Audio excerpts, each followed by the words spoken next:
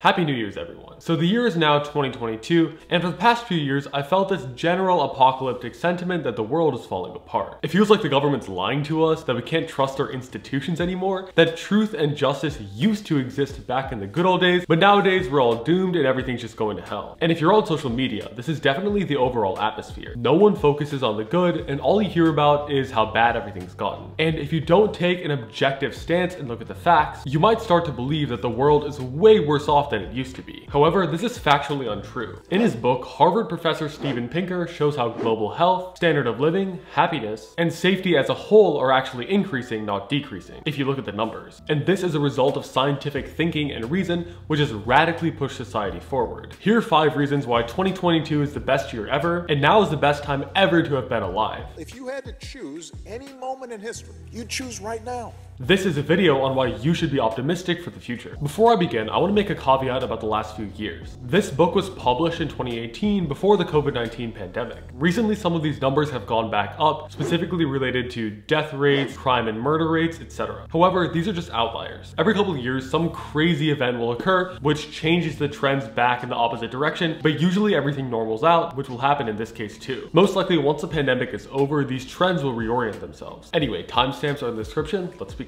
The first point Pinker makes is the fact that intellectuals, specifically progressives, hate the idea of progress. They don't hate the fruits of progress, specifically the internet, vaccines, and desegregation, but they hate acknowledging that significant progress has been made. And this is a result of a whole host of cognitive biases. First of all, you have the optimism gap. The optimism gap is this fallacy where people see their own lives as this triumphant success, but they see the average person's life as really shitty. If you poll people and ask them if their own economic situation is going to be better in the upcoming year, they'll probably say yes. But if you ask the same people about their country's economic situation, they usually say it's going to get much worse. People think drugs, littering, unemployment, and crime is all getting worse in their society as a whole, but not in their neighborhood. Their community is getting better. When asked about it, most people think the world is going downhill, but their own lives are improving. The optimism gap exists for several reasons. First of all, as humans, we have a natural tendency to focus on the bad. Evolutionarily speaking, this makes sense. According to the concept of entropy, there are so many more ways for things to go wrong than there are for them to go right. Probabilistically speaking, it is much more likely as a whole for things to go wrong than right. So our biology is naturally tuned to focus on the bad, how things could fall apart, rather than how things are improving. People care way more about losing what they have than gaining more. Another reason why people think the world is going to hell is because of the availability bias and social media. Social media always focuses on things that go wrong. This is because the news only talks about things that happen, not things that don't happen. CNN will never say a war didn't break out in this country. Fox News is not going to be like a forest fire wasn't started this week. News always talks about the sudden start of something drastic, which is usually something bad. Bad things often happen very quickly like school shootings or tornadoes. But good things like the increase of life expectancy over the past century is not anything anyone would click on. This plays directly into the availability bias, which is the fact that people estimate the probability of an event by the number of examples that come to mind. Let me ask you a question. Are there more words that start with K in the English language or more words which have K as the third letter in the English language? Most people say more words start with K, but that's actually wrong. Words like bake, take, make, or cake are way more common. But it's easier to think of words that start with a letter, which is why people think there's more of them. As the percent of stories that make it onto Instagram or go viral on Twitter are much more likely to be negative than positive, even if this doesn't actually reflect reality. And if all you do is get your news from social media, you're gonna think the world is going to hell. This is why to actually understand what's going on, you need to take a quantitative approach. If you wanna find out if racism is going up, you can't just judge it based off of the number of police shootings you can think of. You need to try to factually measure the amount of racism over time to see if it's going down. And spoiler, it is. So that's the availability bias and why social media makes it seem like everything is much worse. Now I'm gonna talk about some ways that things are actually getting better. Now, these are just a few examples. There are way more ways that the world is getting better, but you'll have to read the full book to learn about those. We'll start with life, meaning life expectancy and health, which are two wonders of the modern world. First of all, life expectancy. This is a graph that shows life expectancy over the past few centuries in a few different continents. Okay, first of all, just take this in. People are living much, much longer than they were just a century ago. Imagine if this graph accelerates and picks up even more speed, we may reach a point where people are living longer than they're aging. Or in other words, the average life expectancy would be increasing more than one year every single year. Just take this in, your life is twice as long as it would have been if you were born just 100 years ago. That's insane. Bloody hell. Why are we not celebrating this every single day? The fact that we're living so much longer. Now, one reason why this graph is increasing so much is because of the rapid decrease in child mortality, which would bring the average really far down. 100 years ago, child mortality was almost 50% in some areas. In other words, half of everyone died before reaching adulthood. And now you know what the rate is? It plunged and went down a hundredfold. Nowadays, child mortality is less than 1% in most developed countries thanks to modern medicine. A century ago, if you were a parent, you'd lose half your kids. Now, most parents never have to go through that tragedy. That's just incredible. But even if you remove child mortality from the picture, people are living much, much longer. The average age in the 1850s after people left infancy was 47. Now it's in the 80s. These increases in life are mainly a result of modern medicine, which is something we should appreciate more often. In the past, infectious disease was the merchant of death. Epidemics killed millions of people and would wipe out entire civilizations. People used to die gruesome deaths due to disease. There are reports of people during an 1878 Memphis epidemic who crawled into holes, twisted out of shape, their bodies discovered later only by the stench of their decaying flesh. In the past, people blamed disease on God punishing humanity, using nonsense remedies like prayer, sacrifice, and bloodletting. But because of a series of miraculous advancements like vaccination, the acceptance of germ theory in hand washing, antibiotics, and the protection of drinking water through sewage management, billions, billions of lives were saved. Let me just paint a picture of the gruesome 1800s. There was feces, literal human waste, everywhere on the streets. Rivers and lakes were full of it, and people used to drink it and wash their clothes in this brown, murky water. Doctors used to treat people with literal human shit on them, never washing their hands even once. Nowadays, no one really appreciates the people who created the life-saving techniques that launched us into modern society. Ever heard of Karl Landsteiner? Dude saved a billion lives by discovering blood groups. A billion, and there are so many more examples of these. You have Abel Wolman, who saved 177 million lives by discovering the chlorination of water. William Foege, 130 million lives by eradicating smallpox. And the list goes on. Researchers estimate, and this is a lowball, that 5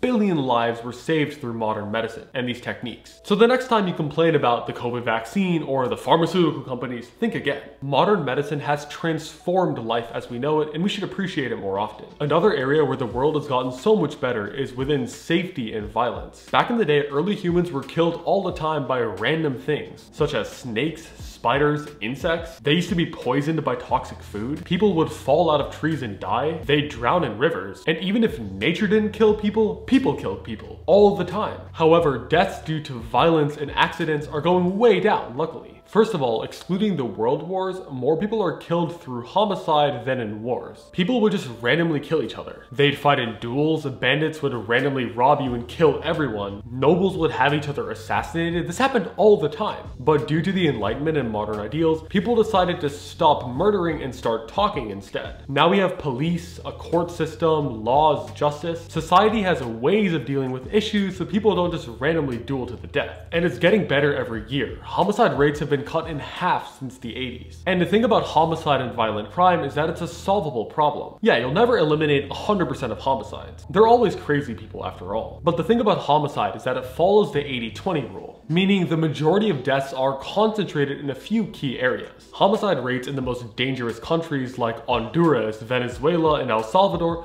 are hundreds of times the rates of safer countries. A quarter of the world's homicides occur in just four countries. Brazil, Colombia, Mexico, and Venezuela. You probably shouldn't travel there. And even within those countries, it's concentrated in a few specific cities. And in those cities, a few key neighborhoods. And in those neighborhoods, a few murder blocks. And even further, in those blocks, they're all committed by the same people. If you can get these people off the street and behind bars, you solve the majority of the issue. What about solutions to violent crime? A lot of people claim that if you solve problems such such as wealth inequality and racism, violent crime will take care of itself. But that's not necessarily true and it's really difficult to implement. There are certain periods of time with really low inequality, but massive violence, like the 60s compared with the 30s, which had massive inequality but low violence. Contrary to popular belief, the best way to stop homicides and violent crime is to actually have strong law enforcement or police. Hear me out. Thomas Hobbes, who was an Enlightenment thinker, argued that the most dangerous areas are zones of anarchy. Think about it this way. If you have no government, no laws or regulations, the only way to enforce anything is through violence. This is why so many deaths are related to gang violence, which is connected with drug trafficking. If some dealer steps onto your turf or copies your formula, it's not like you can sue them for copyright infringement. You take it into your own hands, get a gang together, and murder them. There's a reason your local Walmart doesn't kill the manager of the local local target down the street. Or Elon doesn't shoot Bezos. Jeff who? It's because these institutions are protected under the law, i.e. the police. If you have corrupt or non-existent police presence, crime skyrockets. The best way to solve violent crime is to increase legitimate law enforcement, victim protection, moderate punishment, and humane prisons. We need police officers, non-corrupt and ethical police officers. The keyword is legitimate authority. If you concentrate fair and respected police officers in these murder capitals, crime drastically decreases. Another way to decrease crime is to make crime much more difficult difficult. Criminals are a product of impulsiveness. Most people who commit crimes such as murder, theft, and vandalism don't necessarily plan it out beforehand. Thus, if houses are harder to break into, people carry credit cards rather than cash, dark alleys are lit and monitored, people commit less crimes because they're harder to commit. You're less likely to get murdered in a well-lit public mall surrounded by police officers. Another area where the world has gotten much better is related to equal rights, something the media has gotten very wrong sexism, racism, homophobia.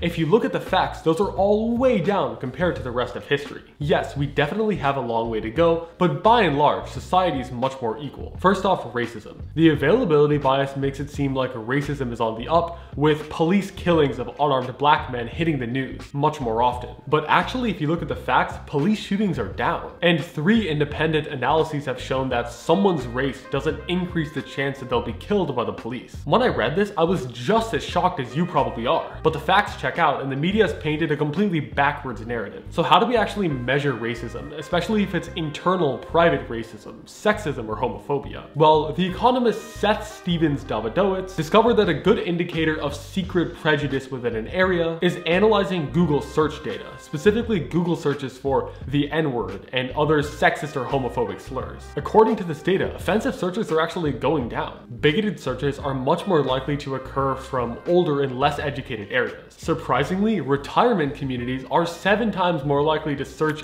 N-word jokes than the average. This data clearly shows how implicit bias is going down, with every generation discussing and using those terms less often. Other metrics that show the drastic increase in equal rights is the drastic decrease of poverty, increase in life expectancy, and literacy among black people. Black people who make it to 65 actually live longer than their white counterparts. Race-motivated violence is also going down. Since the FBI started tracking hate crimes, they've been steadily decreasing among members of every race. Violence against women is also drastically decreasing, and the sentiment around sexual assault has changed radically to protect the victim. In the past, women couldn't even press rape charges against their husbands, something that has drastically changed. Even worldwide, data supports these trends. A hundred years ago, women could only vote in one country, New Zealand, and now they can vote in every country except one, which is Vatican City. Gay rights are also at an all-time high. Homosexuality used to be a criminal offense in almost every country. Yet because of the Enlightenment ideals like personal freedom, privacy, and consent, homosexuality has been decriminalized in many countries. Finally, let's talk about happiness. Do any of these changes actually mean that we're happier over time? Pinker discusses two ways to measure happiness. Since happiness is subjective, you need to ask people how happy they are. You could either poll them randomly and have them note down their mood, or you can ask them how meaningful the last weeks, months, and years have been. And like everything before, yes, people are getting happier. 86% of people say that they're happy or very happy. Also, the richer people get, the happier they get too. There's a common narrative that money doesn't predict happiness, but it actually does. Turns out when you're not stressed all the time about paying the bills or putting food on the table, you end up being a lot happier. Give me rent.